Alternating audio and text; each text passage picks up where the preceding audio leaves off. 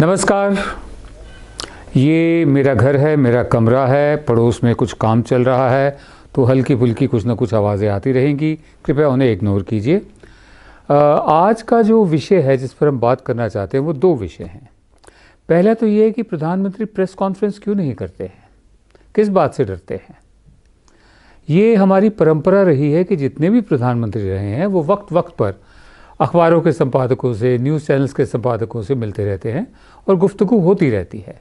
और फॉर्मल, औपचारिक press conference भी हुई हैं, होती रही हैं, हर साल एक होती रही है। ये प्रेस के सामने क्यों नहीं आ रहे हैं?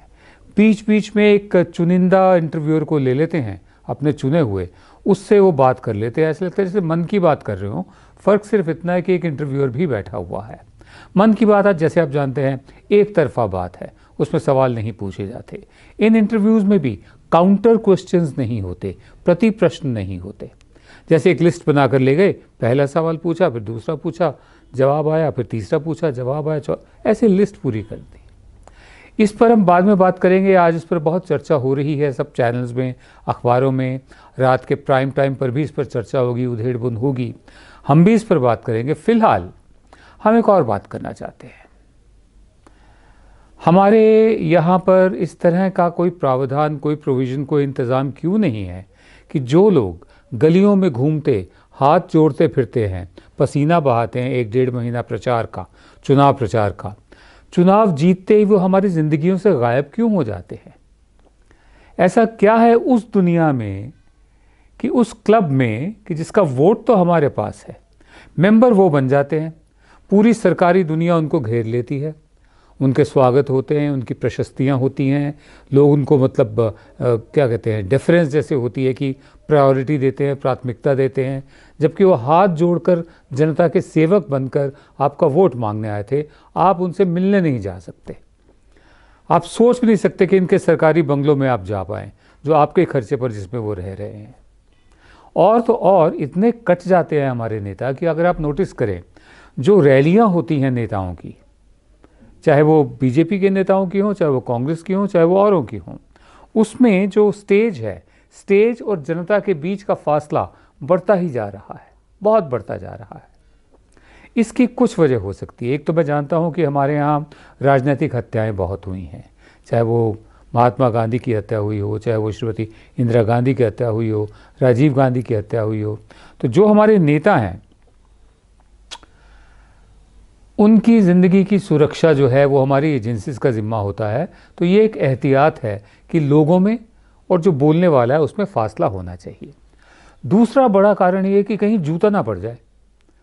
पिछले कुछ सालों से, जब से जॉर्ज बुश पर जूता फेंका गया, हमारे नेताओं पर भी जूता फेंकने का रिवाज चल पड़ा है।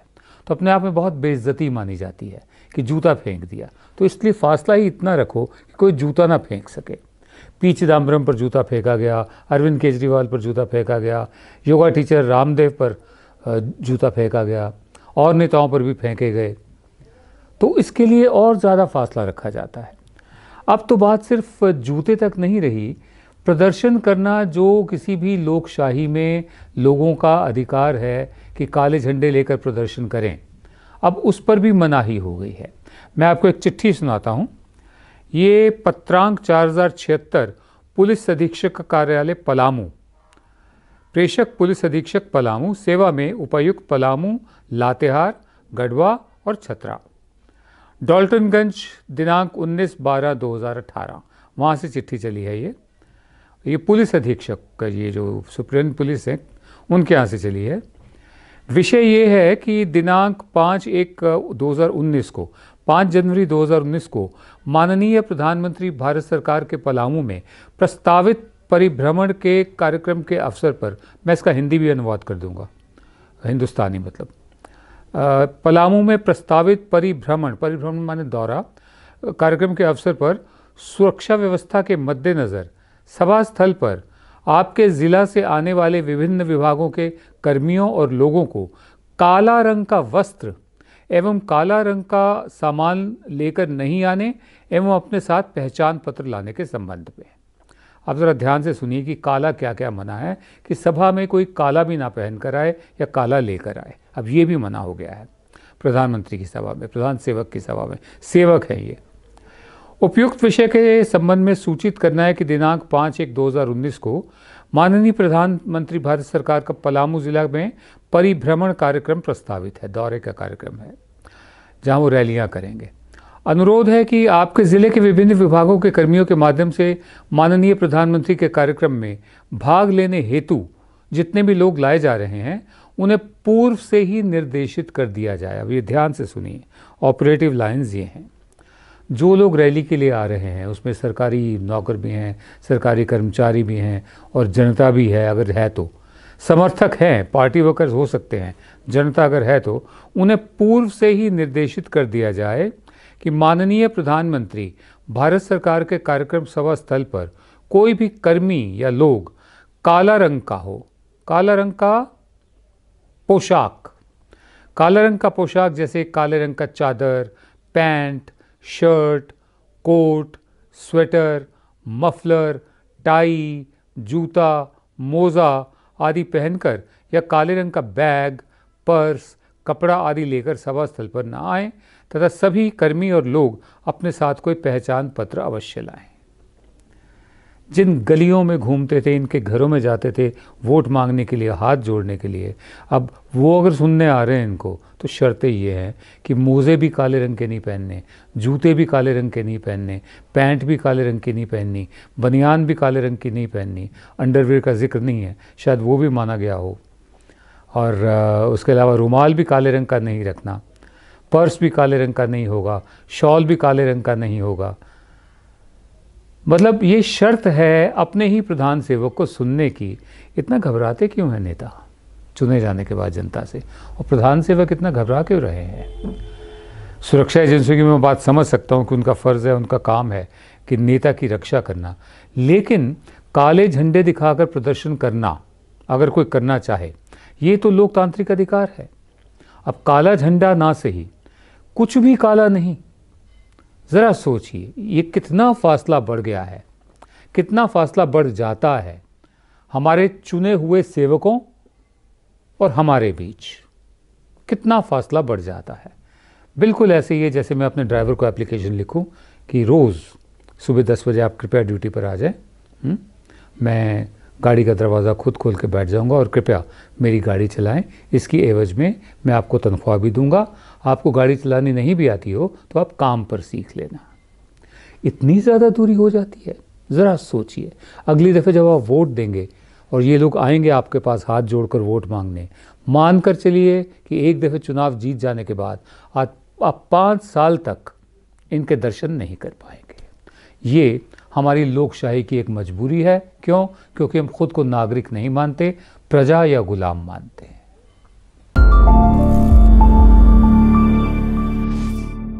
और अब बात करेंगे प्रधानमंत्री के तथा कथित तथा कथित माने सो कॉल्ड इंटरव्यू की। मैं सो कॉल्ड इंटरव्यू क्यों कह रहा हूँ? क्योंकि अगर प्रेस कॉन्फ्रेंस होती है और प्रधान सेवक तो उसे कतराते ही हैं, वो दिख गया साफ़ दिख गया। पाँच महीने रह गए हैं, चार साल और सात महीने बीत गए हैं। एक भी प्रेस कॉन्फ्रेंस नहीं किया उन्होंने। प्रेस कॉन्फ्रेंस का मतलब ये होता है कि जो संपादक लोग होते हैं, जो पत्रकार होते हैं, चाहे वो टेलीविज़न के हों, चाहे वो अखबारों के हो, वो बराबरी के स्तर पर सवाल पूछते हैं। ऐसी हमारी परंपरा रही है। लेकिन अब जो स्तर है, हमारी पत्रकारिता का, हमारे मीडिया का, हमारे सरकारी और दरबारी मीडिया का, वो खुश होते हैं, सेल्फी खिंचवा के। बीजेपी के अध्यक्ष के साथ और प्रधान सेवक के साथ। मतलब बिल्कुल भी नहीं बिल्कुल भी नहीं ऐसा बिल्कुल भी नहीं करना चाहिए बल्कि फासला बना कर रखना चाहिए। नेताओं से फासला बना कर रखना चाहिए हर पत्रकार को और हर मीडिया वाले को भी। आ, हमें लोग बहुत ट्रोलिंग करते हैं गाली देते हैं क्योंकि हम सरकार की आलोचना करते हैं। वो ज़्यादा सोच नहीं पाते वो समझते हैं कि हम किसी पार्टी विशेष के होंगे कांग्रेस के होंगे या किसी और पार्टी के होंगे। कभी कोई कम्युनिस्ट कहता है, कभी कोई कांग्रेसी कहता है, कभी कुछ कहता है, उससे हमें फ़र्क नहीं पड़ता। ये पत्रकार का, मीडिया वाले का फ़र्ज़ होता है कि वो नेताओं से दूरी बना कर रखे। जब ज़रूरत पड़े तभी उनसे बात करें। बहरहाल तब भी प्रधान सेवक जो हैं, वो कतराते हैं प्रेस कॉन्फ्रेंस से। कल के तथा कथित सो कॉल्ड इंटरव्यू में कुल मिलाकर 18 सवाल पूछे गए और 55 मिनट का इंटरव्यू था। और इंटरव्यू नहीं था, ये मन की बात थी, एक तरफा बात थी, क्योंकि क्रॉस क्वेश्चनिंग जो होती है, वो नहीं हुई। क्रॉस क्वेश्चनिंग प्रति प्रश्न क्रॉस एग्जामिन क्यों होता है? क्योंकि आप हैं प्रधान सेवक, आप एक पब्लिक पोजीशन पर हैं। आपको चुना गया है, सरकारी ख़जाना आपके हाथ में दिया गया है, आपसे रिपोर्ट कार्ड लेना जनता का हक है, आप जनता के संपर्क में नहीं हैं बीच में मीडिया वाया मीडिया का काम करता है, मीडिया एक पुल होता है, जनता और सरकार के बीच। आप उससे कतराते हैं, चुनिंदा लोगों को चुने हुए इंटरव्यू देते हैं आप सिर्फ़।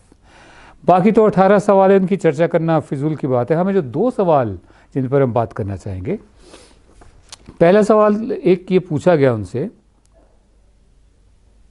पहला पहला सवाल ये था ये, कि 2018 का जो साल था वो भारतीय जनता पार्टी के लिए अच्छा साल नहीं था, ठीक साल नहीं था।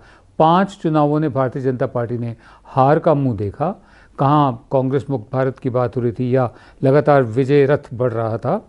हाँ और 2019 में क्या आपको आत्मविश्वास है कि आप चुनाव जीत पाएँगे? और कितनी सीटें आप उम्मीद करते हैं?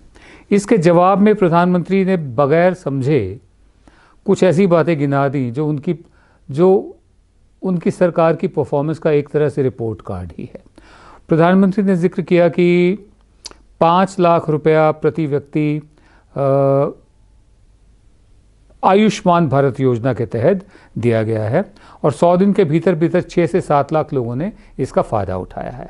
एक उपलब्धि यह है पिछले चार साल सा, सात महीने की कि छः से सात लाख लोगों ने आयुष्मान भारत योजना का फ़ायदा उठाया है।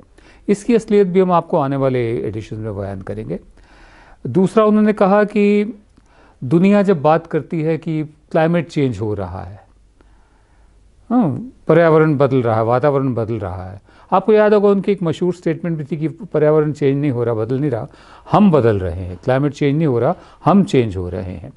तो बहरहाल उनका कहना है कि क्लाइमेट चेंज में भारत को माना जाता था कि सबसे ज़्यादा पोल्यूशन खराब फैलाने वाला पर्यावरण को ख़राब करने वाला एक देश है। लेकिन 2018 में यूनाइटेड नेशंस ने चैंपियन ऑफ़ अर्थ और प्रोटेक्टर ऑफ़ एनवायरनमेंट भारत को कहा।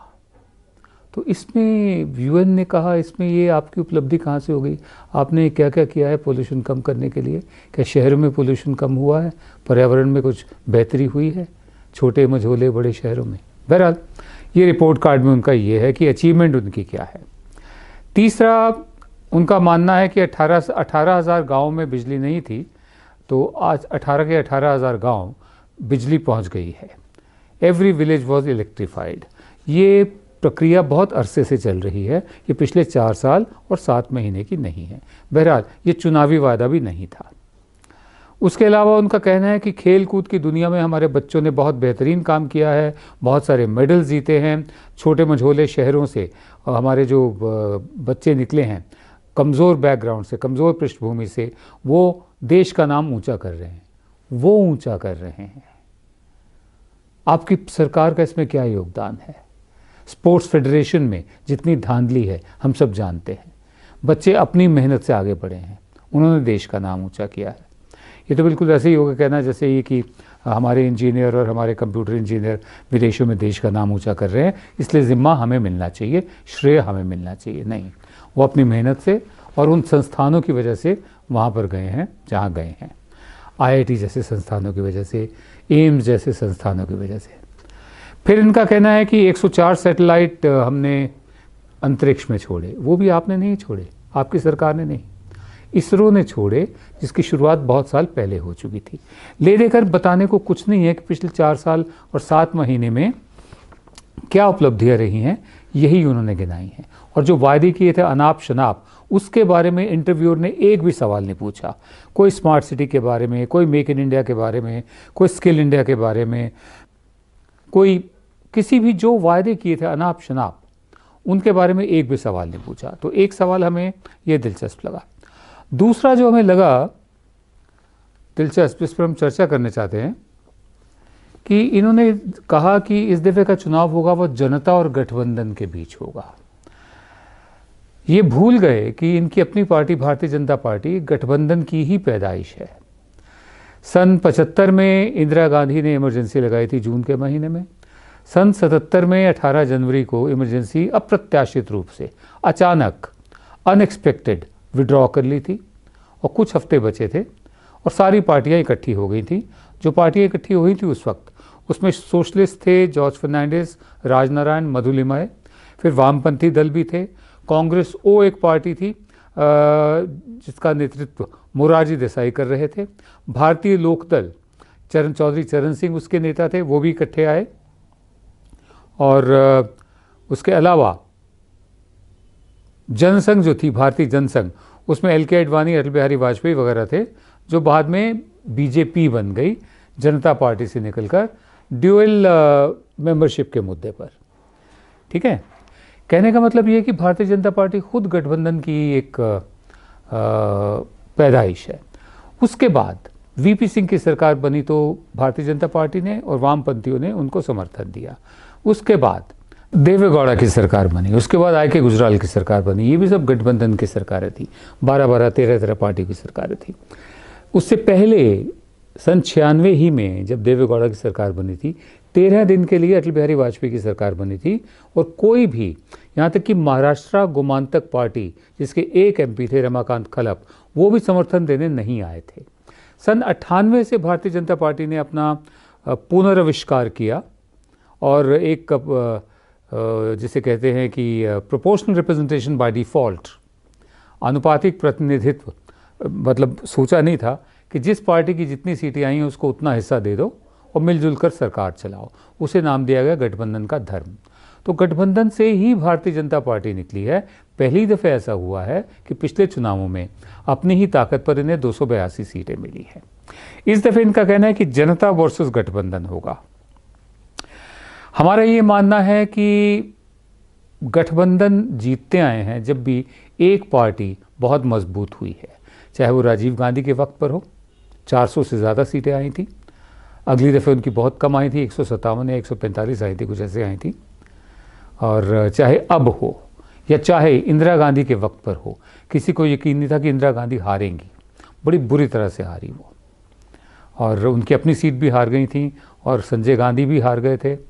बिल्कुल इसी तरह इस वक्त हमें लग रहा है, पिछले चार साल, सात महीने का जो है, उसमें ख़ुद को जनता का लाडला कहलवाना और ये महसूस करना कि जनता वर्सेस गठबंधन है। हमें एक तो ये सवाल थोड़ा सा अजीबोगरीब लगा, क्योंकि लोकशाही में ही, लोकतंत्र में ही विकल्प निकलते हैं ऑल्टरनेटिव निकलते हैं, दूसरे रास्ते निकलते हैं, किसी तानाशाही में नहीं निकलते।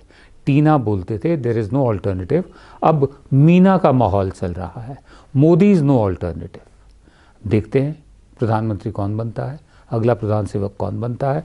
और वो किस तरह से इस देश की अर्थव्यवस्था को कम से कम पटरी पर लाता है और जो बेरोज़गारी की समस्या है, उसको किस तरह से दूर करने की दिशा में कदम उठाता है। नमस्कार।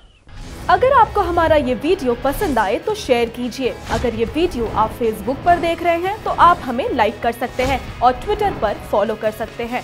और यूट्यूब पर हमारे वीडियोस देखने के लिए आप हमें सब्सक्राइब कर सकते हैं।